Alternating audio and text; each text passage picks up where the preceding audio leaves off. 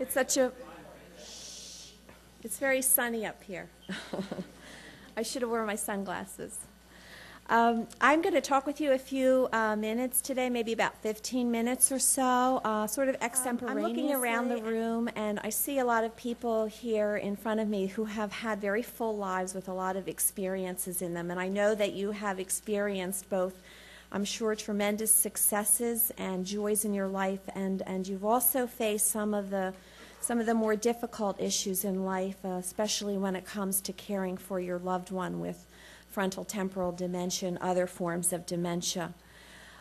I was very touched by Dr. Dan Gottlieb's talk, as I know many of you were today, and I was particularly excited to follow his presentation because my, my talk is really a lot about community and our place uh, in the community and how we can use community to deal with the issues that you're dealing with and caring for your loved ones. Uh, you know, no matter what your politics are, when Hillary Clinton says it really takes a, a village to raise a child, I, I, think it takes a village to care for some of our um, elders who are faced with chronic uh, conditions such as frontotemporal dementia, Alzheimer's disease. And I'm very pleased to be a part of the Alzheimer's Association because we spend our life uh, in service to the community. Uh, because, as Dr. Grossman said, uh, we really can be gatekeepers for uh, information for you, referrals for you, and support for you as you um, go along this journey. Uh, uh, sometimes you feel like you're alone. You aren't. There are people out there that can help you.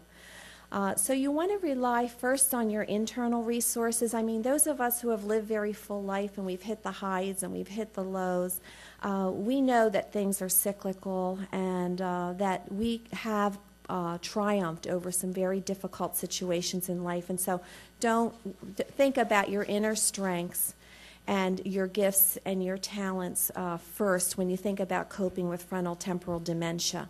And then from that point, uh, I, I, and one more point about that. I, I, think that sometimes when we're caregivers for people with dementia, we don't we don't get a lot of thank yous. Um, so we have to think about ourselves um, in terms of what we're doing right instead of what's going wrong, and give ourselves a pat on the back and be very gentle with ourselves because.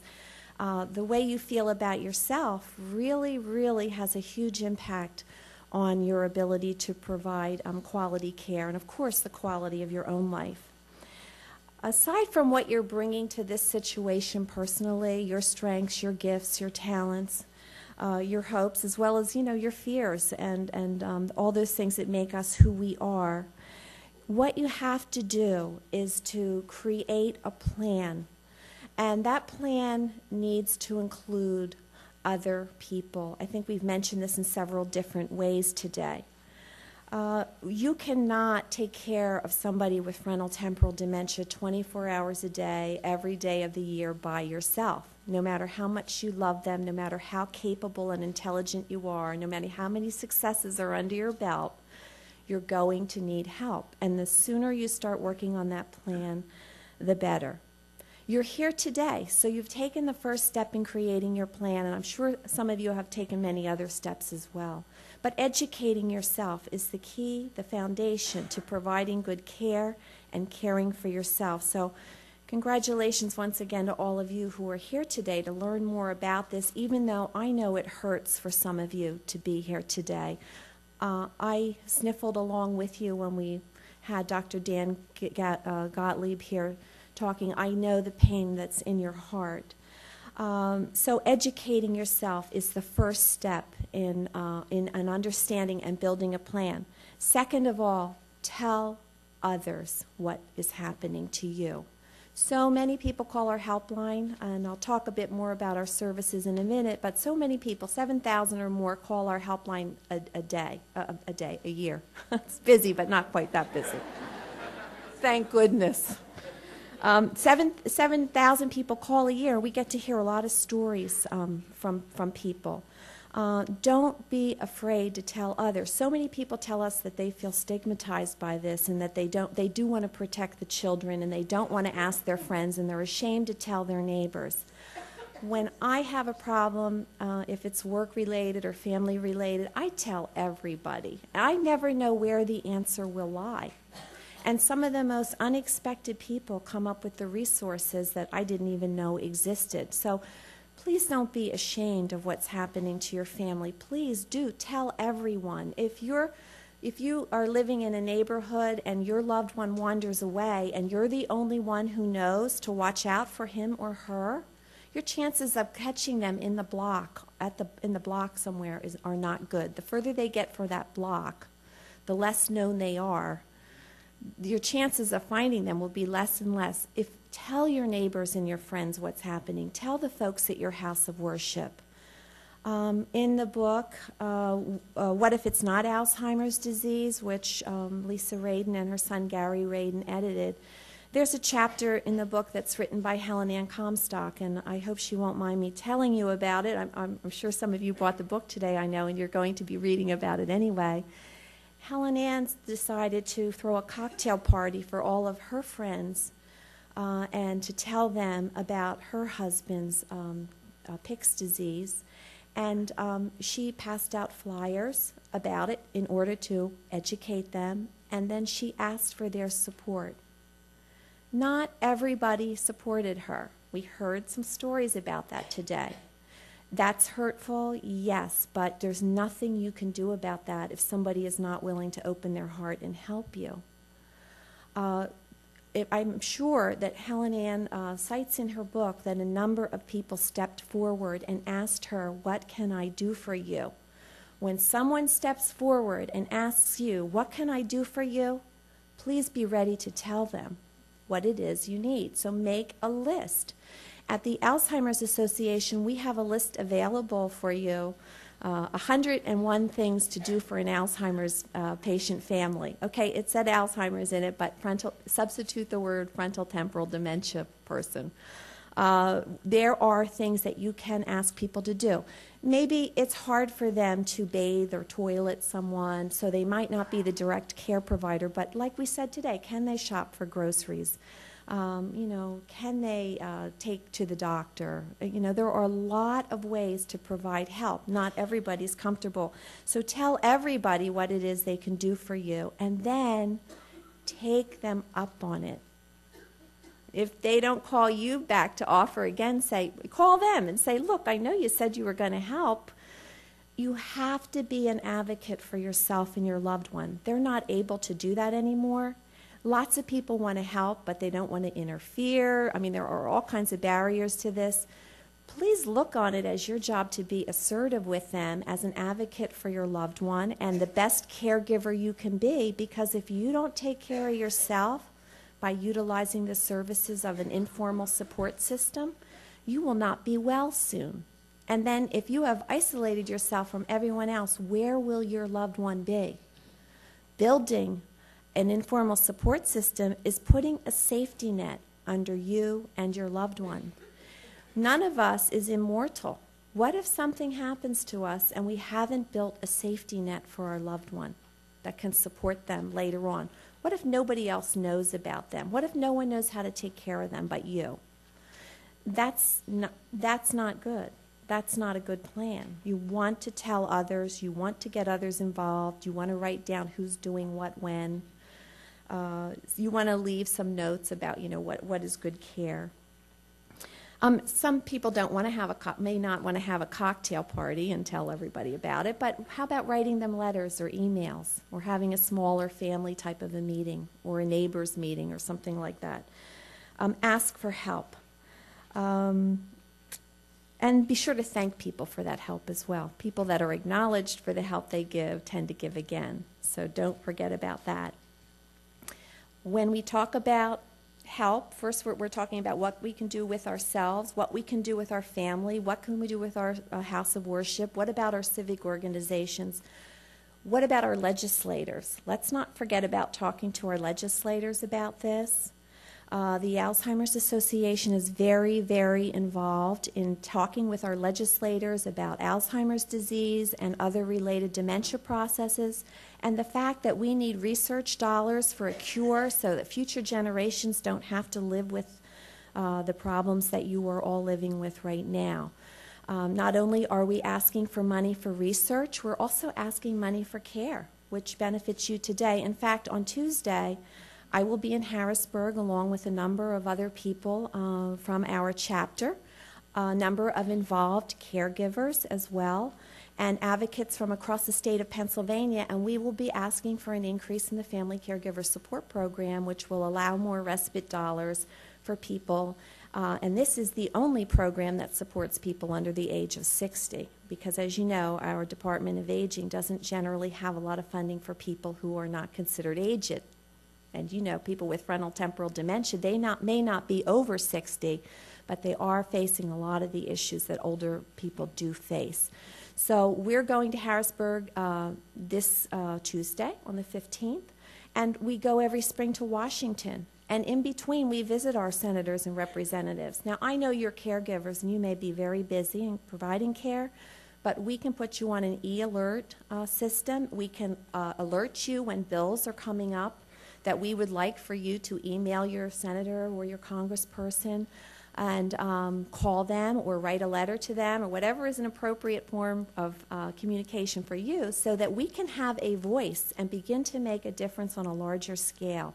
So as you can see, building a network goes further and further and further away. I'm talking about not only the microcosms of our family, but the macrocosms of our, um, of our uh, legislative and governmental systems. Uh, I, and besides looking at informal supports, I want you to consider using formal supports. Uh, formal supports are supports that are uh, given to you through professional services, and we covered a few of them today very briefly, but adult day services. I was an adult day provider for 12 years before I became uh, involved with the Alzheimer's Association.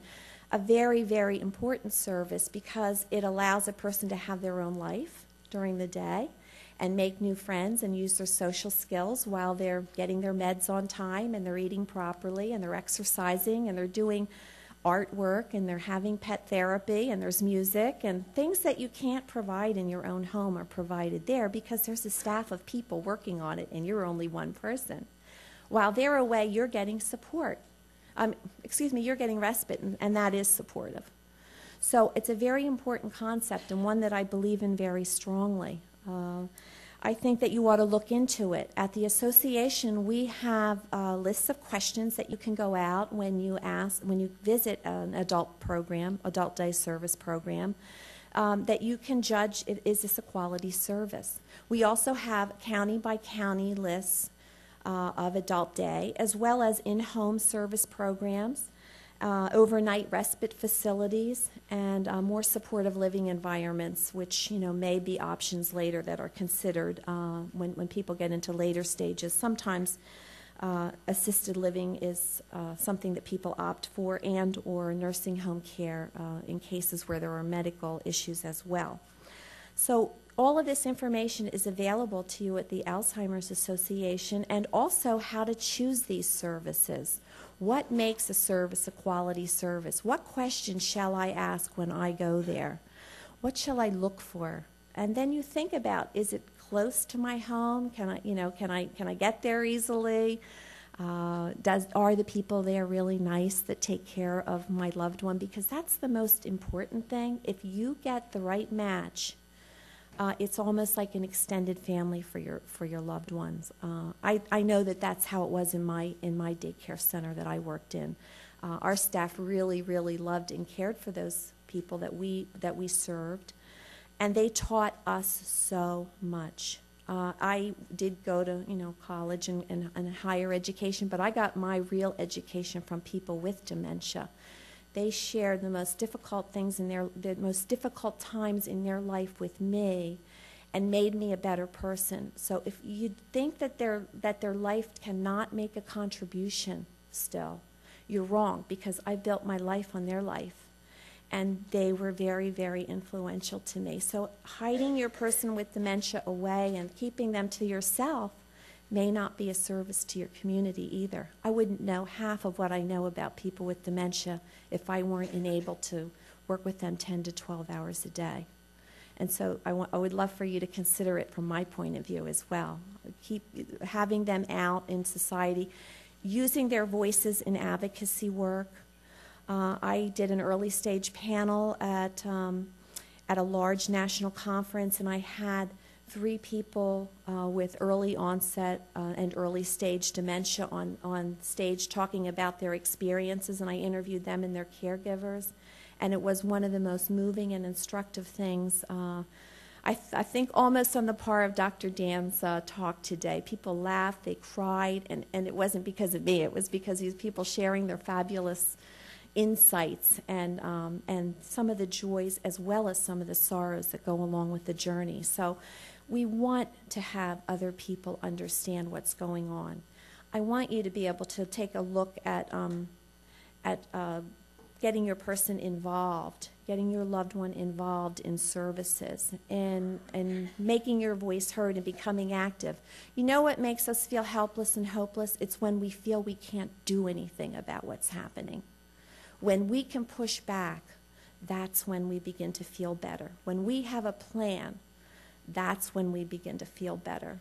And so I invite you to join uh, the Alzheimer's Association and our wonderful partners here at the conference and the U of Penn and, um, and the Frontal uh, Temporal Association for Frontal Temporal Dementia in uh, getting involved with us. Um, and that can mean, you know, serving us in, in ways of volunteering and making your stories known and that sort of thing, but also getting involved um, in our service constellation, which I am very proud to say uh, I am debuting our core program and service video today that our chapter has been planning for many, many years. And we finally found a funding source, and uh, this is its public debut to, today. So I hope you enjoy it. It's a lot about what's available to us. And if I could just point out one main thing about the um, film that you're about to see. If you take nothing else away from the film, I'd love for you to take our 800 number because from our 800 number, you can get involved with our support group system, which, by the way, Lisa Radin runs a fabulous frontal temporal support group um, here in the area in Radnor. We have a number of early stage and early onset and spousal support groups. Uh, African American and Spanish language and Korean language, and general support groups as well, 170 in the Delaware Valley area in, in communities um, everywhere. Uh, also, our family caregiver support program. Uh, it is uh, the medical piece really focuses a bit more on Alzheimer's disease than may be appropriate for this group. But as you can hear today, there's a lot of overlap uh, when we talk about um, these different types of diseases. But a, a lawyer talks about um, a lawyer talks about what the financial ramifications of the disease are and how to prepare. Social workers and nurses talk about behavior, communication. I mention this to you because it's free, it's an eight hour comprehensive training, and if you are having difficulties with your family members getting on the same page, it's a wonderful thing to invite the whole family to this, and at least you have a foundation of support for discussion in the future. Uh, this is, these are disease processes that can tear families apart, and this is the way to unify them through education. It's a beginning step. So you'll see it in the video. And I'm just going to go ahead and ask uh, our wonderful technician, Ray, if he could put up the debut performance of our program. So if you don't live in this area, there's an Alzheimer's Association near you, and we would be happy to point you in the direction of your uh, local chapter as well. These are only these are our core services, and they're available um, at, at all the chapters across the country. So uh, I think that this is pretty applicable, um, even if you aren't from the.